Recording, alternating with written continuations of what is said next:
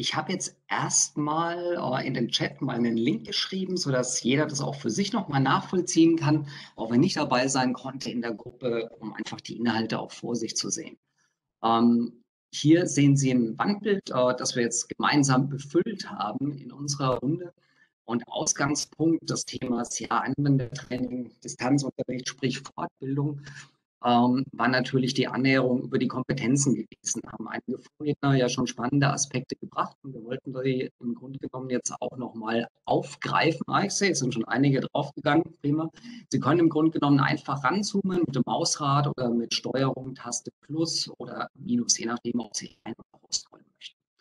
Und genau über diese Kompetenzen sind wir gekommen und äh, es wurden spannende Aspekte genannt. Vor allen Dingen äh, das Thema Offenheit fand ich sehr, sehr interessant und auch das Lernen zu lernen, äh, was ein Stück weit auch zusammengehört, ähm, sind Aspekte, die, denke ich, sehr, sehr stark an Bedeutung gewinnen werden.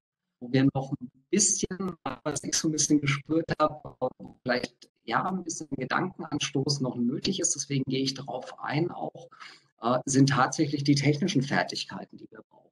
Also es wurde genannt, ähm, hier das Thema Datenkompetenz, Umgang mit persönlichen Daten einerseits natürlich und äh, aber auch mit seriösen Quellen umgehen zu lernen, das im Grunde genommen unterscheiden zu können. Und auf der anderen Seite haben wir halt technische Fertigkeiten, die eine maßgebliche Rolle spielen werden in Zukunft. Und so weit ist die Zukunft nicht. Wir sind weitergegangen und haben uns mal so Zeitstrahl angesehen, wie im Grunde genommen Technologie in der Schule eingesetzt wurde und vielleicht auch wird. Ja, also ganz schön hier vielleicht das Sprachlabor aus den 80ern zu sehen, wo alles schön mit Wänden getrennt war. Und so sind wir Stück für Stück dann über virtuelle äh, oder interaktive Whiteboards dann zu wirklich einem Lernen gegangen, wo man auch wirklich ähm, ja im Grunde genommen im Team auch arbeitet, ein Stück weit.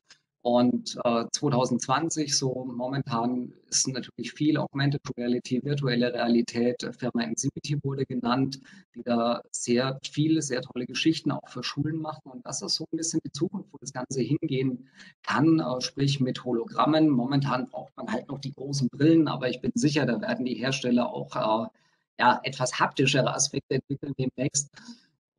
Keiner weiß natürlich, wo so richtig die Reise hingeht, was aber tatsächlich Fakt ist, dass wir im internationalen Vergleich, und ich habe das Glück, äh, durch natürlich die Programmtätigkeiten ähm, bei Intel auch in, in, das internationale Umfeld schnuppern zu können, dass wir da schon deutlich hinterherhinken. Leider, was, was äh, den Einsatz im Ausland angeht. So ein Stück weit kommt es mir aktuell so vor, als würden wir die Entwicklung, die die skandinavischen Länder vor zehn Jahren durchlaufen haben, jetzt auch wieder machen. Also die haben damals äh, vor allen Dingen ganz, ganz viele Tablets eingesetzt und mittlerweile ist es so, dass sie dann eher Richtung Notebooks und One-Geräte gehen, weil sie sagen, okay, wir wollen ja auf die Berufswelt vorbereiten, auf die Arbeitswelt und natürlich auch die entsprechenden Kompetenzen fördern und brauchen dafür eben auch entsprechende Endgeräte.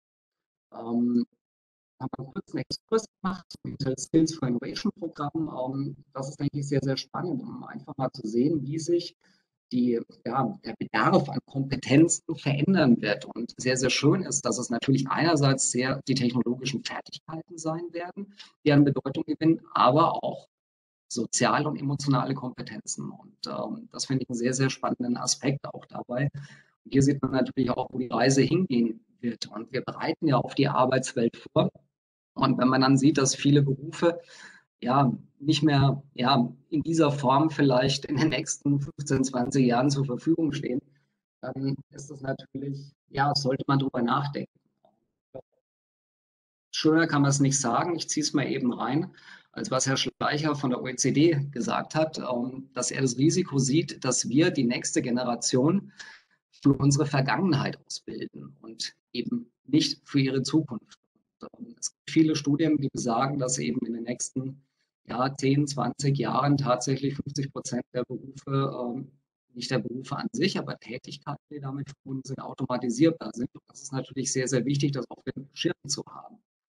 Genau. Und wenn wir auch in, in Deutschland natürlich eine, eine Rolle spielen wollen, was diese Entwicklung angeht, müssen wir auch die entsprechenden Kompetenzen natürlich vermitteln. Ähm, hier können Sie dann selbst drauf gehen. Das ist das neue Skills for Innovation Programm, was da einen maßgeblichen Beitrag auch leisten soll.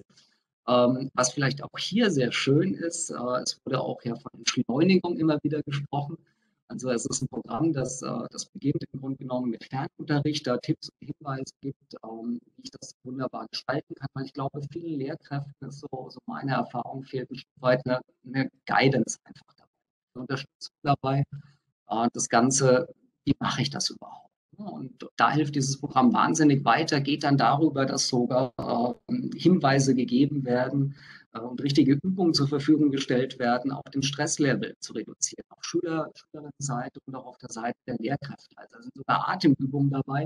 Und dann geht es natürlich auch um technologische Aspekte, aber nicht um die Technologie selbst, sondern die Technologie als ja, Mittel, als, als reines Mittel zu verstehen, um die Kompetenzen, die wir auch äh, brauchen, zu fördern bevor es dann später auch darum geht, natürlich richtige technische Fertigkeiten zu erlernen, die eben gebraucht werden. Und äh, natürlich ein ganz besonderes Stück ist dann dieses Intel AI for Youth Programm. Und hier haben wir kurz einen Exkurs gemacht, wie es denn in anderen Ländern ausschaut. Äh, Polen hat jetzt erst im letzten Jahr 800 KI-Labore an den Schulen eingerichtet. Asien ist uns meilenweit voraus. In Indien ist das ein, ein ja, Wahlpflichtfach geworden. Indische Schüler können dieses Programm, was wir haben, was es seit letztem Jahr auch in Deutschland gibt, im Grunde genommen wie den Englischunterricht wählen. Und da wurde die Bedeutung erkannt. Und wir arbeiten daran, dass es auch bei uns in Deutschland vorangeht und haben da ganz, ganz tolle äh, Schulen auch schon, die ersten sozialen Projekte mit, mit KI dann eben angestoßen haben sehen wir ein Stück weit. Genau, und Alex, das ist jetzt, jetzt kommst du genau zu den, zu den Punkten, Alex, die ich jetzt auch natürlich gerade im Kopf habe, aber ich wusste, dass das jetzt auch kommt. Jetzt ist natürlich die Frage, was mache ich denn jetzt damit? Ne? Ähm. Weil äh, das ist jetzt konkret genau die, äh, die Fragen, äh, die, jetzt, die jetzt hier stehen. Das ist alles wunderbar, super spannend und jetzt müssen wir in die Umsetzung kommen ne? und das diskutieren. Ne? Aber du zeigst es ja, genau. Exakt richtig. Genau, wir müssen in die Umsetzung kommen letzten Endes ging es jetzt wirklich darum, erstmal zu klären, welche Themen uns überhaupt bewegen und, und wo so der Schuh drückt, einfach da mal eine Bestandsaufnahme zu machen. Wir haben festgestellt, dass ja oftmals IT nicht verstanden wird. Ne? Dann, dass die alle die Diskussion, Möglichkeiten, beziehungsweise was darf ich überhaupt, ein großer Aspekt, denke ich auch, haben wir auch gemerkt, dass, dass, dass die Vision fehlt. Das wurde heute auch schon mal angesprochen, das fand ich sehr, sehr schön, weil darum geht es im Grunde genommen muss ich eine Vision haben, um dann Strategien und Maßnahmen daraus abzuleiten. Also wie soll Schule aussehen? Ja, diese Fragestellung überhaupt sich mal zu stellen, welche Kompetenzen soll auch Schule vermitteln? Und no, das ist natürlich die üblichen Aspekte, die wir alle mitbekommen haben im letzten Jahr. Es ist kein Internet zur Verfügung, Cloud-Lösungen sind äh, ja verpönt beziehungsweise werden nicht angeraten, die auch zu nutzen was es natürlich sehr, sehr schwierig macht, auch in der aktuellen Situation natürlich, wenn die Plattformen, die vorhanden sind, einfach ähm, ja vielleicht nicht das liefern und leisten, was sie müssten. Ähm, dann, welche Themen bewegen sie? Ja, fehlende Offenheit ein Stück weit äh, wurde genannt aus Teilnehmersicht. Datenschutz schließt sich dem an, was ich gerade gesagt habe klare Guidelines, die, die auch benötigt werden. Was darf ich denn nutzen? Es gibt so viele schöne Anwendungen, die ich nutzen kann, wenn ich allein mit Microsoft 365 denke, was ja Schulen kostenfrei zur Verfügung stehen kann, habe ich alles, was ich brauche. Ich brauche nicht 20.000 Apps haben. Im Unterricht letzten Endes brauche ich sowieso wahrscheinlich nur 10. Und ja, wenn ich in dieser Welt dann unterwegs bin, habe ich alles an einem Stück. Und äh, ist professionell entwickelt. Das ist für den Businessbereich genauso tauglich, natürlich auch wie die Schu für die Schule dann. Oder auch in der Zusammenarbeit als Schulträger mit den Schulen. Und hier auch natürlich Schutz der Kinder hat eine große Rolle gespielt. Und ja, wenn wir dann weitergehen, da sind wir jetzt nicht mehr so weit natürlich gekommen aufgrund der Zeit, aber das ist was, was ich dann auch anschließen konnte. Wenn wir dann auch ähm, die Termine natürlich machen, da weise ich dann auch gleich nochmal darauf hin, wann die zur Verfügung stehen, dass man hier dann weitermacht. Das war zum einen, denke ich mal, ist die Fragestellung immer sehr schön, wenn man sich, äh, man sich stellt, wie, wie, kann ich denn alles mal so richtig gegen die Wand fahren? Ja? wenn man davon dann ausgeht, äh, im Grunde genommen, okay, was müssen wir tun, um das Ganze nach vorne zu bringen, dieses Thema? Und ja, beim Verbocken ganz klar dieses Thema, dass keine Fortbildung äh, gemacht wird, dass im Grunde genommen Fortbildung entkoppelt auch von Hardware gesehen wird. Ich glaube, das ist ein Fehler, den man auf gar keinen Fall machen darf.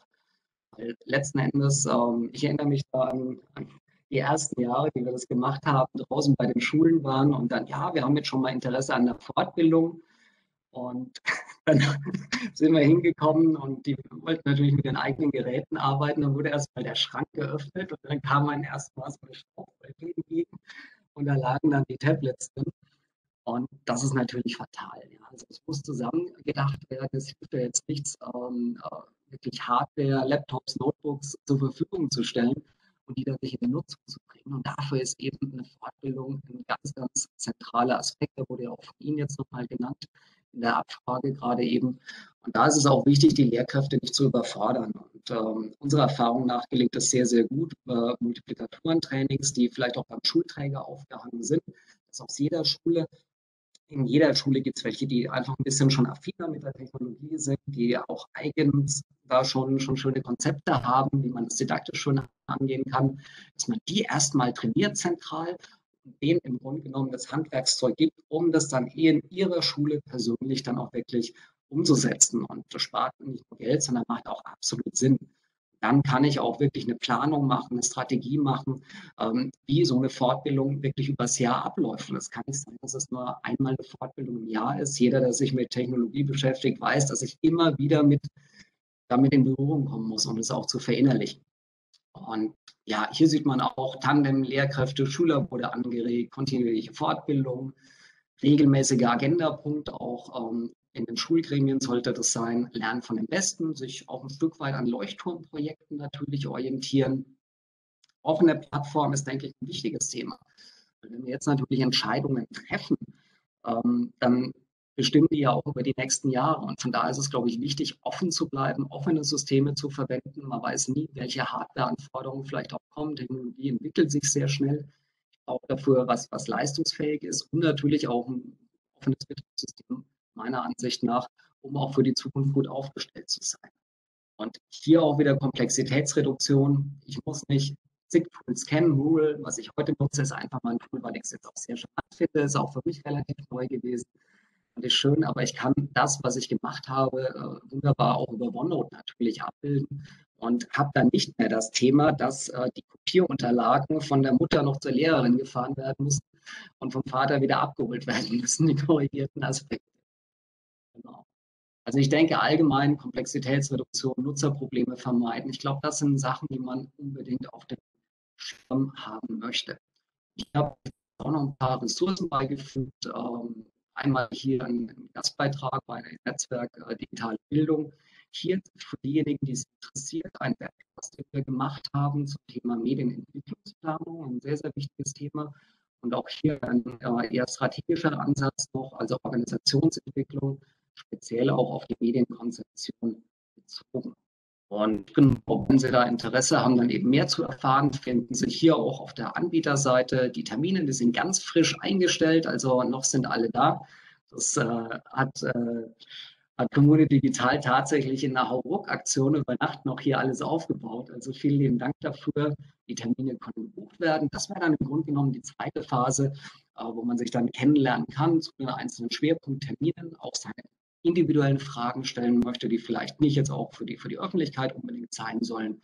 Und dann kann man dann ja sehen, ob man gemeinsam dann auch Projekte starten möchte. Ja. Genau, ja, vielen Dank, lieber, lieber, lieber Alex, für den ganzen Überblick.